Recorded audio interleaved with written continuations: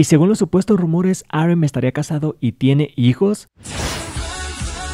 Bueno, pues estos son rumores que se han extendido bastante por internet y muchas personas han hablado de esto y han publicado las supuestas, entre comillas, pruebas. Así que vamos a ver cuáles son estos rumores. Muchos decían que estos rumores eran un poco absurdos, incluso nadie creía esto, pero poco a poco se fueron revelando más cosas que indicarían que posiblemente sí serían ciertos y no, esto no es algún tipo de fic o algo así. Como sabemos, muchos de los integrantes de BTS han tenido rumores de citas, rumores de supuestamente estar en una relación, sobre todo algunos de los integrantes que han tenido más rumores es Jungkook, pero en esta ocasión los rumores apuntan a que RM podría estar en un tipo de relación o algo así. Como sabemos, RM es uno de los integrantes más famosos de la agrupación. Además de ser el líder y el rapero principal de los chicos de BTS, es un gran compositor, bailarín y tiene múltiples talentos, pero ¿ser padre podría ser uno de ellos? De hecho, muchas K-Army han mencionado que supuestamente RM estaría casado, y también dicen que supuestamente tiene hijos. Y la primera, entre comillas, prueba es que RM siempre lleva un anillo en su dedo anular. Esto lo vimos en algunas presentaciones de los chicos de BTS. Muchos incluso decían que estaba casado o prometido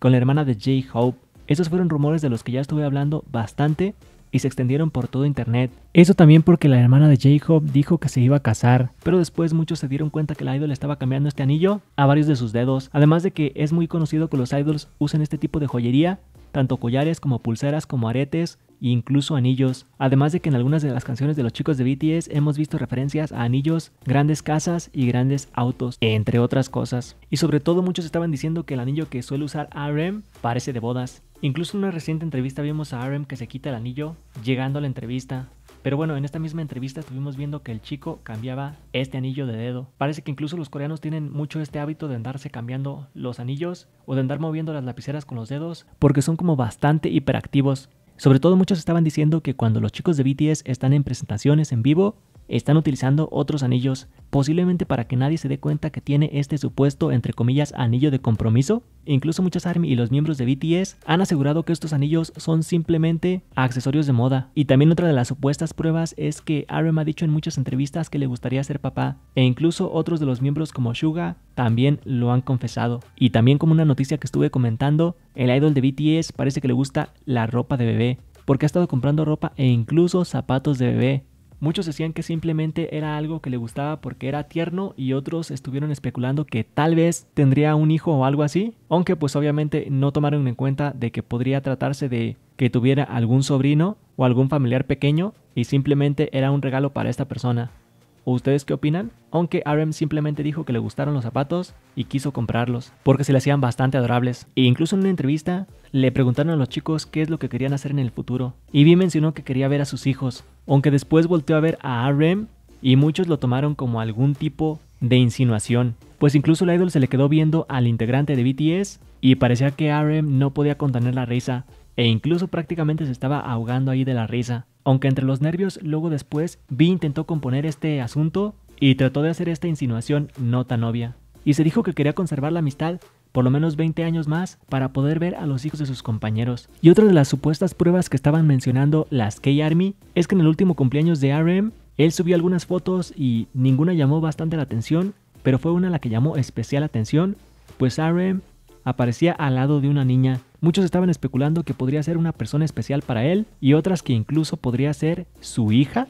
Y bueno, ¿tú qué opinas acerca de todo esto? ¿Tú piensas que sí sean algunas pruebas realmente irrefutables? Yo la verdad dudo que tenga una hija, pero pues quién sabe. Al principio cuando vi los zapatos de niño, no lo creí, no pensé que sería padre, pero después de todas estas pruebas así como que te pone un poco a dudar, aunque de todas formas lo sigo dudando. No hay alguna prueba que sea así como más contundente, estas cosas simplemente se podrían interpretar de ciertas maneras, pero no se sabe a ciencia cierta hasta que él o Beat Hit hagan una declaración oficial.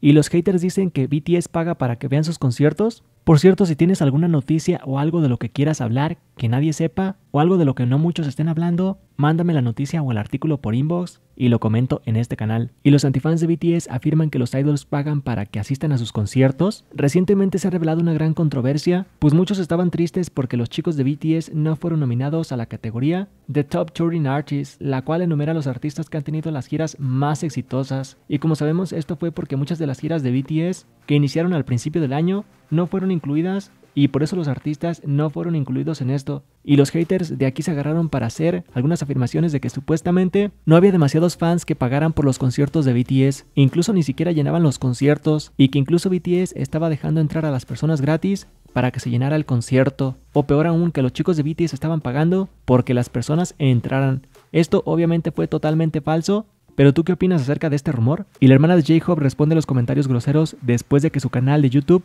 alcanzó un millón de suscriptores en solo 10 días. Recientemente la hermana del miembro de BTS J-Hope ha estado ganando muchos fanáticos en su canal de YouTube, que alcanzó un millón de subs, sin embargo hay algunos aspectos negativos que vienen con lo bueno. La hermana de J-Hope respondió a algunos de los comentarios groseros que le dejaron a través de sus historias de Instagram. Uno de los comentarios decía, no es tu canal de YouTube popular gracias a tu hermano, en el que ella respondió con una cita de un monje famoso, publicó la cita que decía, un tiempo para las palabras de Mon Heijin, y citó, traté de aprender a ignorar lo que la gente dice, eso y aquello de usted. Sería infeliz si prestara atención a cada una de ellas. Si quiere para ser feliz, luego encuentre las cosas que quieren hacer en el momento en el que tengan que preocuparse por lo que otras personas piensen de usted. Aunque bueno, ya al leer los comentarios pienso que les está poniendo un poco de atención, pero ustedes qué opinan? Otro internauta dijo, no estás ganando solo unos centavos, estás ganando mucho así que deberías admitir los hechos.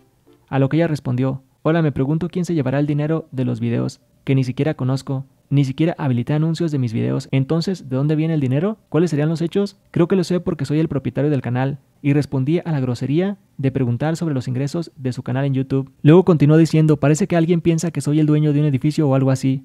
Comencé mi sitio hace cuatro años, pero todavía hay días que son difíciles y contemplo mucho. No es que esté ganando una cantidad excesiva de dinero, y mi empresa tampoco es tan grande, hay mucho más margen de mejora y tengo un sentido de la responsabilidad como director ejecutivo. El YouTube que comencé recientemente es algo que quería que fuera algo pequeño y simple, pero sé y esperaba hasta cierto punto que fuera posible. Sin embargo, mi vida no cambió mucho porque comencé en YouTube. No comencé el canal porque quería ganar dinero, pero quería crear otra forma para el crecimiento de mi empresa. Por favor, absténganse de comentarios que se burlen de mis clientes. Cuando los internautas vieron esto, comentaron, ahora algunas personas sienten el complejo de inferioridad de sus familiares. Vaya, no puedo creer que simplemente digan eso.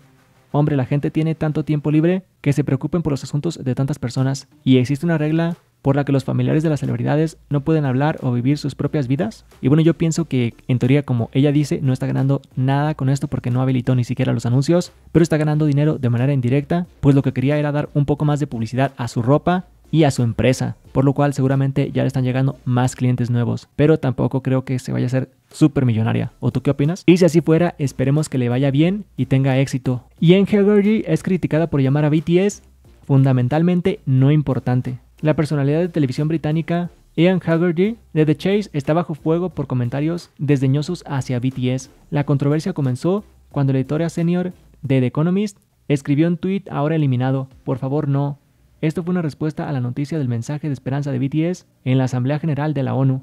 Tras la reacción violenta que recibió su tweet, McElvey se disculpó y afirmó que fue incomprendida. Ian Haggerty es una celebridad conocida por su papel en el programa de juegos de ITV The Change y respondió la disculpa de McElvon con desdén. Todo esto sobre una pequeña banda de chicos coreanos que fundamentalmente no es importante, dijo ella. Los ARMY estaban completamente enojados por sus palabras y muchos se acercaron para corregirla. Esta pequeña banda de chicos coreanos es fundamentalmente importante de muchas maneras. En primer lugar, representa a los hombres asiáticos y continuó que los descartes y digas poco no es solo una microgestión, sino que en realidad es racista. Otro usuario en Twitter escribió que incluso si BTS es irrelevante para ella, son importantes para millones de personas en todo el mundo. Y pidieron a The Chase ETV que abordar el comentario racista de esta chica. Esperamos sinceramente que arroba ETV y ETV Chase se den cuenta de cómo se siente la audiencia asiática cuando su representante está siendo abiertamente racista con los asiáticos. Y bueno, ¿tú qué opinas acerca de esto? Y ARMY prepara diferentes proyectos para el cumpleaños de Jimin. El idol nació en 1995 y está a solo unos días de celebrar su cumpleaños número 25. Octubre está a la vuelta de la esquina y aunque Jimin celebre el día especial hasta mediados del mes, los proyectos de los fans organizados para celebrarlo ya han comenzado a adornar las calles de Seúl. Los fans de BTS que viven en Corea han compartido en sus redes sociales cómo viven la celebración en honor al vocalista del grupo, ya que los espectaculares con su imagen han comenzado a aparecer. Las proyecciones incluyen algunas de las fotos más bellas de este idol, así como un mensaje de cumpleaños para que todo el público pueda admirarlos mientras camina, ya sea que recorran las vialidades o se encuentren en algunas estaciones de metro. Para los fans coreanos será muy sencillo toparse con algunos de estos proyectos especiales. Este es apenas el comienzo de la celebración y sabemos que ARMY todavía tiene más sorpresas para Jimin, mismas que veremos conforme se acerque el 13 de octubre de este año. Incluso pues les quiero decir que una exclusiva y es que yo ya le mandé su regalo de cumpleaños a Jimin. No voy a decir qué es porque luego dicen que es falso, pero bueno, felicidades a Jimin. Y BTS y Dynamite conquistan la Party Royale del videojuego Fortnite. El escenario virtual de Party Royale recibió a los integrantes de BTS y encendieron los ánimos de los jugadores de Fortnite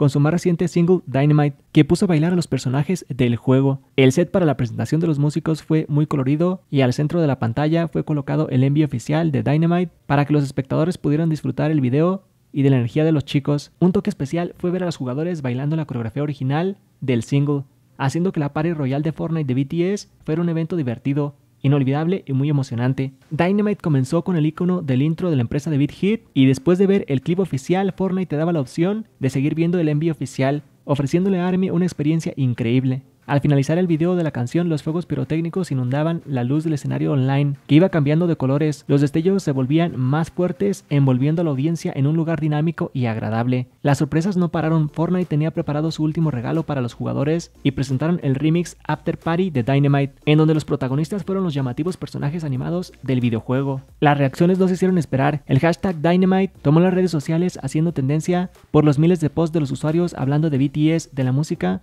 después de la Party Royal de Fortnite de BTS, algunas de las personas compartieron que Dynamite se ha convertido en uno de sus singles favoritos, esto por su sonido y propuesta.